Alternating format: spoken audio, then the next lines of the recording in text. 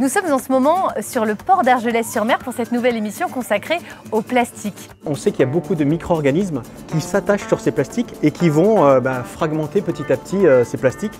On essaye de comprendre à quel point les micro-organismes vont transformer les microplastiques, qui sont la taille d'un grain de riz, vers des nanoplastiques qu'on n'arrive même plus à voir. Mais par contre, ceux-là, ils vont avoir des effets délétères sur tous les maillons de la chaîne alimentaire parce qu'ils vont se mettre partout dans nos cellules, etc. Ça existe un plastique qui disparaît vraiment dans l'eau? Alors oui, ça existe. Alors c'est les plastiques de troisième génération, c'est le plastique du futur. Euh, ce sont des polyhydroxyalcanoates, donc ce sont des plastiques qui sont fabriqués par des bactéries. Et oui. C'est notre façon de lutte ici euh, dans le département. Et une fois qu'il y a nature, donc moi ce que j'appelle des fuites, comment essayer euh, d'éviter qu'ils se retrouvent ensuite dans le système hydraulique, dans le bassin versant, dans les fleuves et qu'il arrive en mer?